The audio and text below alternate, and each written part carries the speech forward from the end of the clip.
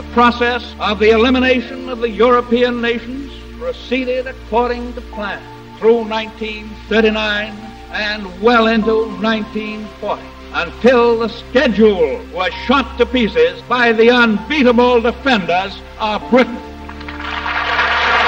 In this historic crisis, Britain is blessed with a brilliant and great leader in Winston Churchill. But knowing him, no one knows better than Mr. Churchill himself that it is not alone his stirring words and valiant deeds that give the British their superb morale. The essence of that morale is in the masses of plain people who are completely clear in their minds about the one essential fact that they would rather die as free men than live as slaves.